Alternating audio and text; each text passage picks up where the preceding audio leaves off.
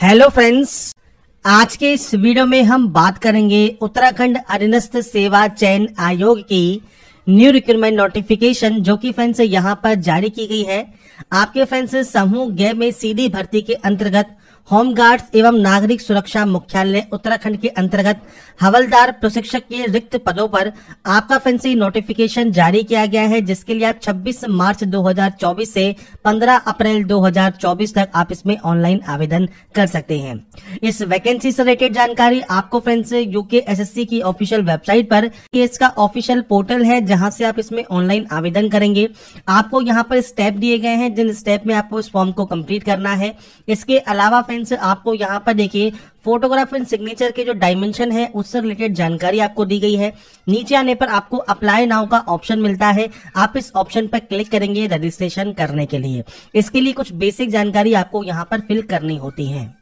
आपको कुछ बेसिक जानकारी यहाँ पर फिल करनी होगी, जिसमें से सबसे पहले आप यहाँ पर जो नाम है, वो आप यहाँ पर एंटर करेंगे। तो अभ्यर्थी का नाम आप यहाँ पर एंटर कर सकते हैं। इसके बाद फादर या हस्बैंड नेम आपको यहाँ पर एंटर करना होगा। इसके बाद आपको यहाँ पर आपका मदर नेम एंटर करना होगा।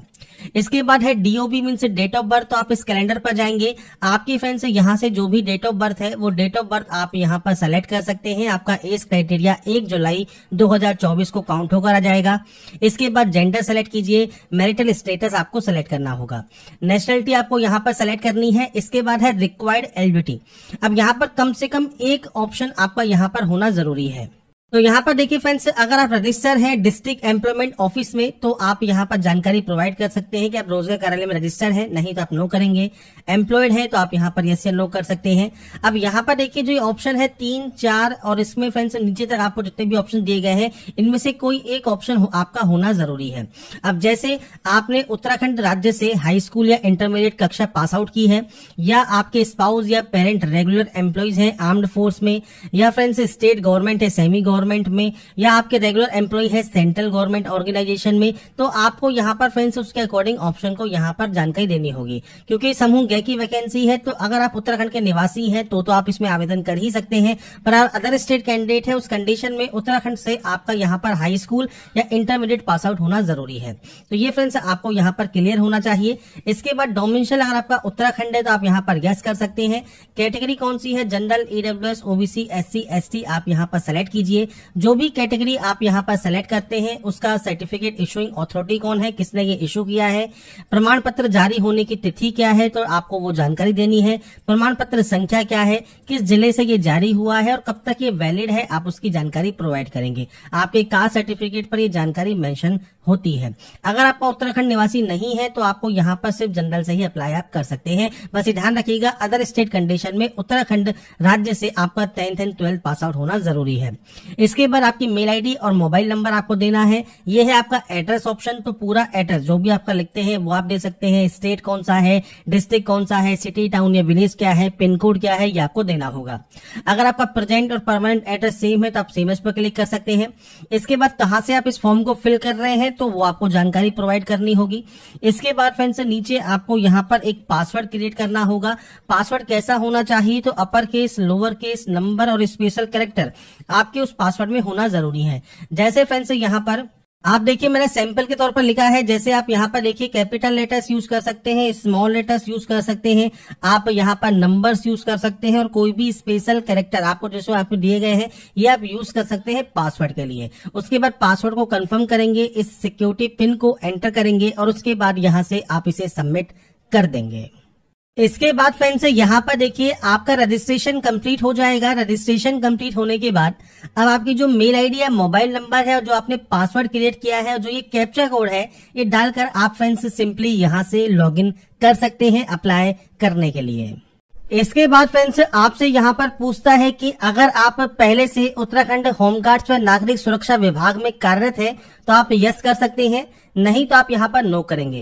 क्वालिफिकेशन में सबसे पहले टेंथ की आपको एंट्री करनी है स्कूल या डिग्री का आपको यहाँ पर सिलेक्शन करना है। इसके बाद किस स्टेट से आपने इसको पास किया है, आपके बोर्ड का नाम क्या है, वो बोर्ड का नाम आपको सेलेक्ट करना होगा। ईयर ऑफ़ पासिंग क्या है तो आप इस कैलेंडर के माध्यम से आपका ऑफ़ पासिंग सेलेक्ट कर सकते हैं। स्ट्रीम सेलेक्ट करना है, और इसके बाद अगर आपका सीजीपी है तो सीजीपीए मार्किंग सिस्टम है तो मार्किंग सिस्टम आपको यहाँ पर देना होगा। यहाँ पर आपको देना है आपके ऑप्टेन मार्क्स यहाँ पर आपको टोटल मार्क्स और उसके बाद आप यहाँ से इसे ऐड कर देंगे। ऐसे ही फ्रेंड्स अब आपको यहाँ पर टेन प्लस टू की एंट्री करनी है तो आपके फ्रेंड्स यहाँ पर जो भी डिग्री है, वो आपको सेलेक्ट करना है। किस स्टेट से आपने इसको पास किया है, किस बोर्ड या यूनिवर्सिटी से आपने इसको पास किया है ईयर ऑफ़ पासिंग क्या है, वो आपको यहाँ पर जानकारी देनी है। स्ट्रीम कौन सी है सब्जेक्ट कौन सी है तो यहाँ पर देखिए आपको सब्जेक्ट्स की जो नेम है, वो आपको मिल जाते हैं। आपको यहाँ पर, आपके सब्जेक्ट्स के जो नेम है, वो आपको यहाँ पर फ्रेंड्स सेलेक्ट करने होंगे।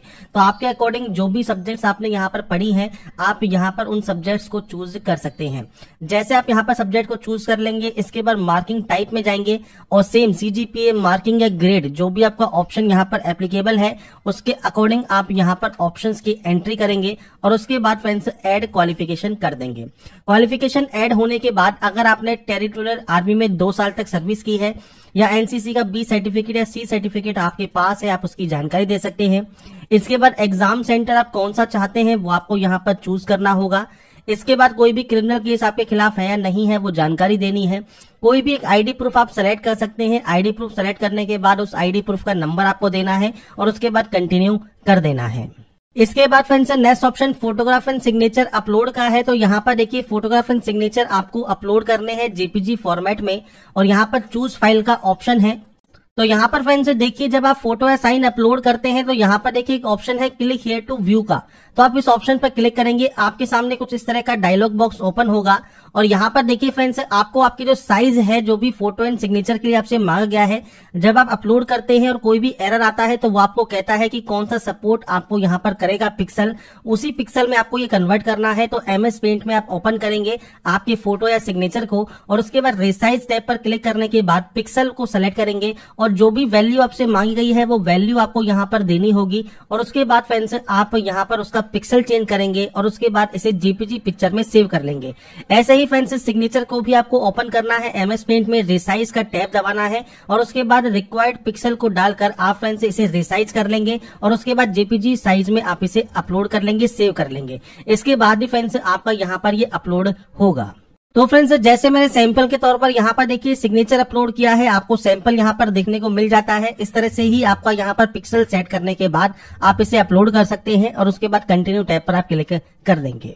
इसके बाद फ्रेंड्स यहाँ पर देखिए जो प्रीव्यू सेक्शन है, यहाँ पर आप डिक्लेयर करेंगे। डिक्लेयर करने के बाद प्रोसीड का जो ऑप्शन है, आप इस ऑप्शन पर क्लिक करेंगे। और इसके बाद फ्रेंड्स अब आपको पेमेंट करना होगा। पेमेंट करने के लिए आपको पे नाउ का ऑप्शन मिलता है। आप इस ऑप्शन पर क्लिक कर सकते हैं। इसके बाद फ्रेंड्स मल्टीपल ऑप्शन हैं। जैसे आप कार्ड का यूज़ करना चाहे तो कार्ड से पेमेंट कर सकते हैं यूपीआई से यूज़ करना चाहे तो यूपीआई से पेमेंट कर सकते हैं नेट बैंकिंग से कर सकते हैं। तो आपके अकॉर्डिंग जो भी ऑप्शन आप पेमेंट यहाँ पर वेरीफाई करना चाहे, वो पेमेंट आप यहाँ पर वेरीफाई कर लेंगे। तो आपकी जो प्रोसेस है, वो कंप्लीट हो जाएगी।